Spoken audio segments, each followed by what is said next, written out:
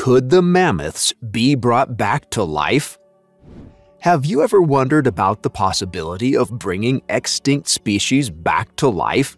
It sounds impossible, but thanks to groundbreaking advancements in gene editing technology, it might not be as far-fetched as you think.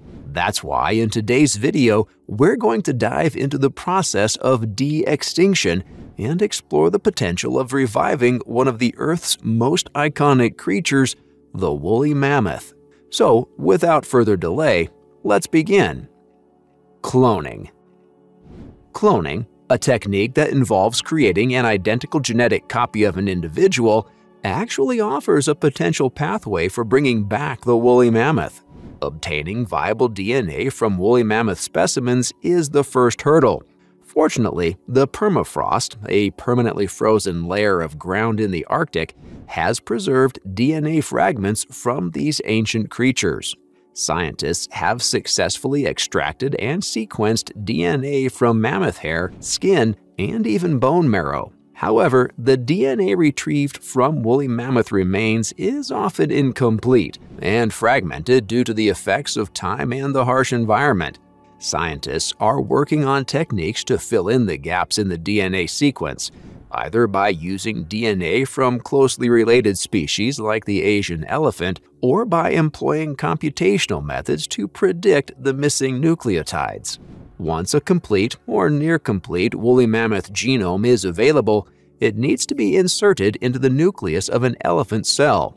This process, known as somatic cell nuclear transfer SCNT, involves removing the nucleus from an elephant egg cell and replacing it with the woolly mammoth nucleus. The modified elephant egg cell is then implanted into a surrogate elephant mother, where it undergoes development and gestation. However, the success rate of SCNT in elephants is currently low, and there is no guarantee that the implanted embryo will develop into a healthy woolly mammoth calf. Despite this hurdle, scientists are actively working on methods to improve DNA repair and cloning techniques with the aim of overcoming the obstacles that stand in the way of resurrecting the woolly mammoth. If you aren't a firm believer in the technology behind cloning, let's look at a prominent example from history. Dolly is the name of a sheep that was the first mammal to be successfully cloned from an adult cell. She was born on July 5, 1996 at the Roslin Institute in Scotland. Dolly was cloned using the same process that scientists will use to revive the woolly mammoth. But she wasn't the only one. Wilbur the calf, Kaguya the mouse, Snuppy the Afghan hound, and Arcadia the horse. These were all animals from different species cloned using this technique. This means that everything depends on the quality of the DNA sequence. Gene therapy the approach of gene therapy aims to inject woolly mammoth DNA into the genome of an elephant, imbuing it with the characteristic traits of the extinct species. In the case of bringing back the woolly mammoth, scientists would aim to insert DNA sequences responsible for traits like thick fur, tusks, and adaptations to cold temperatures in the elephant's genome. This process, known as genome editing, relies on sophisticated techniques like CRISPR-Cas9, which is both a mouthful and very useful as it allows precise alterations to the genetic code. While advancements in paleogenomics have actually enabled the sequencing of ancient genomes, including that of the woolly mammoth, deciphering the function of individual genes still remains a relatively complex task. Additionally, understanding the intricate relationships of genes in determining an organism's defining traits is crucial for successful genetic engineering. Assuming the successful identification of relevant woolly mammoth DNA sequences, the next hurdle involves inserting them into the elephant's genome without disrupting the elephant's own genetic identity. This process must be extremely precise and controlled to avoid unintended consequences such as disrupting essential genes or introducing genetic instability. Moreover, the efficiency of gene delivery and expression in elephants needs to be optimized to ensure that the woolly mammoth DNA sequences are effectively utilized. Even if successful gene therapy could impart some woolly mammoth traits to an elephant, it is important to acknowledge that the resulting organism would not be an exact replica of the extinct species.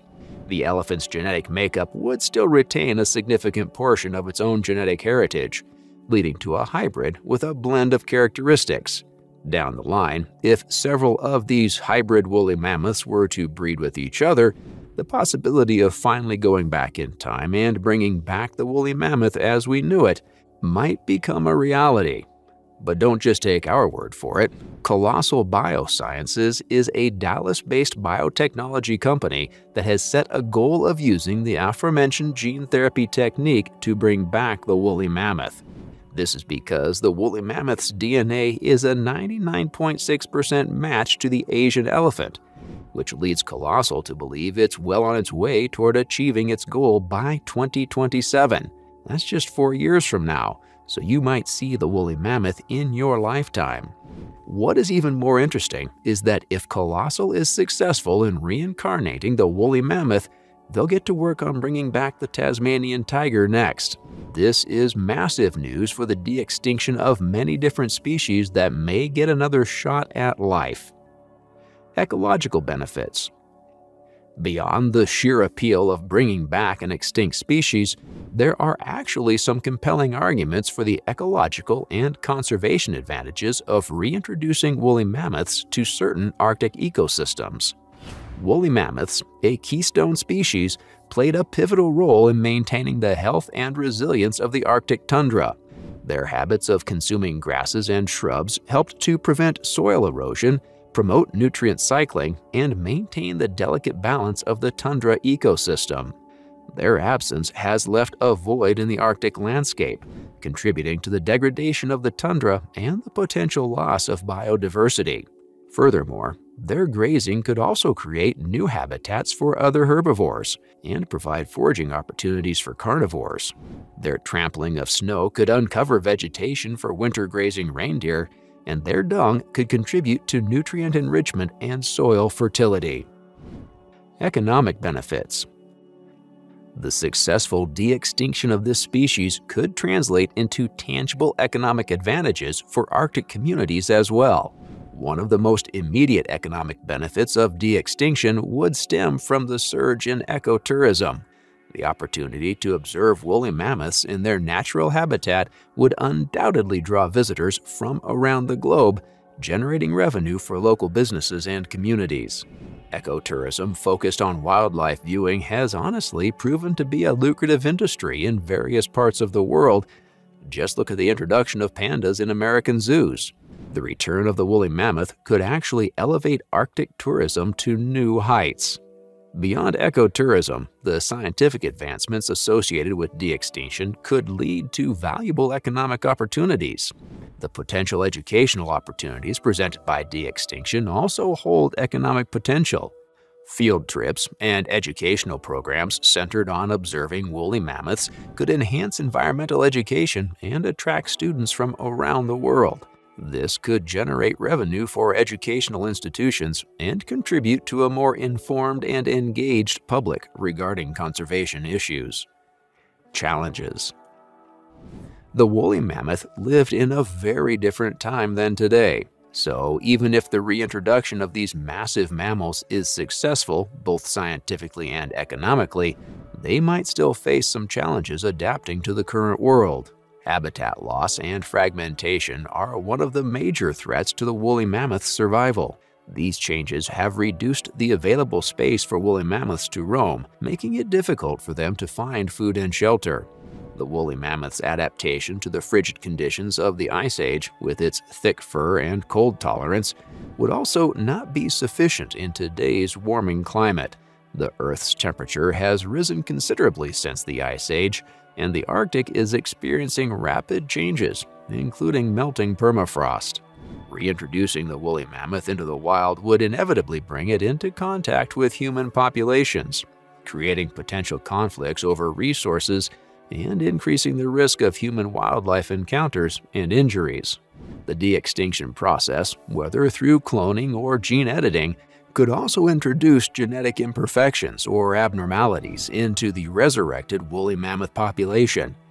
These genetic defects could compromise their health, reproductive success, and overall survival, making it difficult for them to thrive in the wild. In the end, we'll bring the question to you. Do you think the woolly mammoth can be brought back? Should it be brought back? Would it be able to survive in the modern world? If Colossal Biosciences is successful, we might have our answer very soon. If you have any other comments or questions, feel free to leave them down below. Don't forget to hit that subscribe button and turn on notifications to stay up to date on videos like this. See you next time.